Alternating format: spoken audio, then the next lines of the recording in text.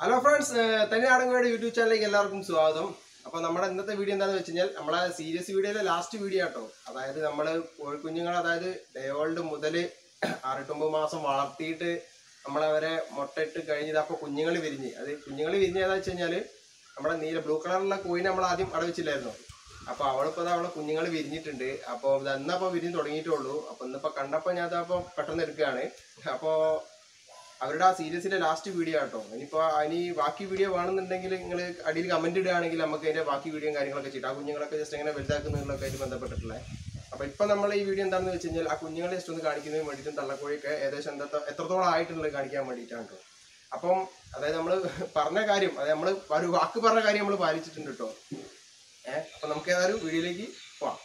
അപ്പം ആളിത് അവിടെ ഉണ്ട്.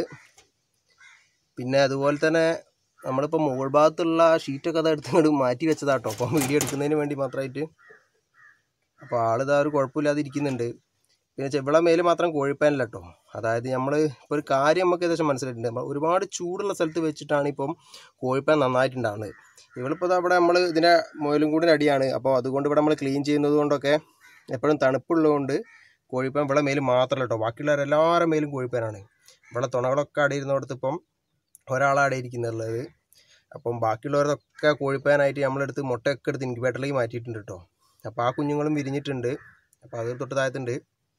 അപ്പം ഇവളെ മേൽ മാത്രമാണ് കോഴിപ്പാൻ ഇല്ലാത്തതും അതുപോലെ തന്നെ അട വെച്ച് വിരിയിച്ചതിപ്പം ഇവളും കൂടെ ഇവൾ മാത്രമാണ് ഇപ്പോൾ ഉള്ളത് നിലവിൽ അപ്പം ഇതാ ഞടിയിലുണ്ട് നമുക്കിപ്പോൾ ഇനി ഈ ഒരു ഇതിലെടുക്കാൻ കഴിയൂല. അതുകൊണ്ട് നോക്കുക അപ്പോൾ തള്ളക്കോഴിനെ ജസ്റ്റ് നമുക്ക് പുതിയ മുകളിൽ കൂടെ എടുക്കേണ്ടി വരും.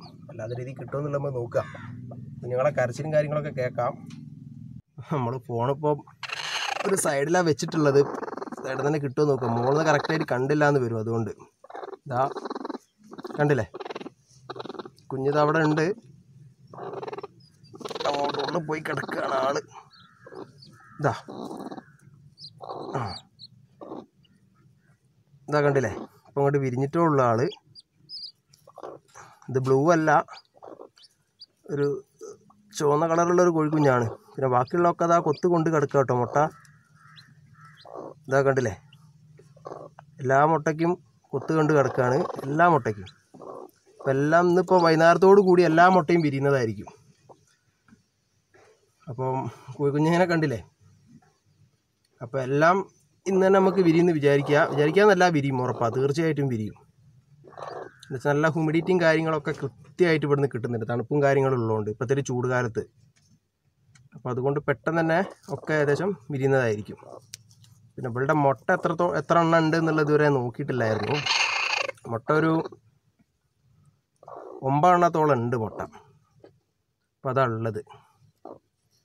അപ്പോൾ ആളിതാ കുഴപ്പമൊന്നുമില്ല. നമുക്ക് പിന്നെ കണ്ടില്ലേ? കോഴിപ്പേൻ ഒരു പ്രശ്നം കൊണ്ട് മാത്രമാണ് ഇപ്പോൾ നമുക്ക് ബുദ്ധിമുട്ടുണ്ടായിട്ടുള്ളത്. അപ്പോഴാണ് ആട്ടും കൂട്ടൊക്കെ അഡ്ജസ്റ്റ് ചെയ്യേണ്ടി വന്നത്. പിന്നെ എന്താ വെച്ചാൽ നമ്മൾ കോഴിക്ക് വെച്ചില്ല നമ്മൾ ഇൻക്യുബേറ്ററിലേക്ക് മാറ്റി അത്രേ ഉള്ളൂ. അല്ലാതെ വേറെ പ്രശ്നം കാര്യങ്ങളൊന്നുമില്ല.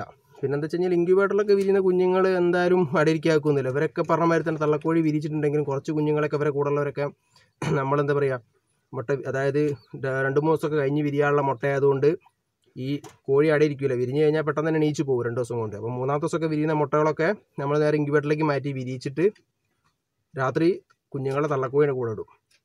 എന്നിട്ട് പിന്നെ അവരതിൽ സെറ്റായിക്കോളും അങ്ങനെയാ ചെയ്യുക ലേശം ഒരു വലിപ്പ വ്യത്യാസം ഉണ്ടാവുന്നുള്ളൂ. അല്ലാതെ വേറെ പ്രശ്നങ്ങളും കാര്യങ്ങളൊന്നുമില്ല. അപ്പം നമ്മുടെ കോഴിക്കുഞ്ഞുങ്ങൾ ഇതാണ് കേട്ടോ അപ്പോൾ ഇനി ഇവരുടെ അതായത് ഇനി ഇവരെ എങ്ങനെ പരിചരിക്കുന്നുള്ള വീഡിയോ വേണമെന്നുണ്ടെങ്കിൽ ആൾക്കാർ ജസ്റ്റ് ഒന്ന് കമന്റ് ചെയ്യുക നമുക്ക് ആ വീഡിയോ ഒക്കെ ആയിട്ട് അടുത്തതിൽ നമുക്ക് എപ്പിസോഡിലൊക്കെ നമുക്ക് കാര്യമായിട്ട് ചെയ്യാം. ഇനിയിപ്പം മറ്റൊരു വീഡിയോയിൽ നമുക്ക് ഇനി വീണ്ടും കാണാം.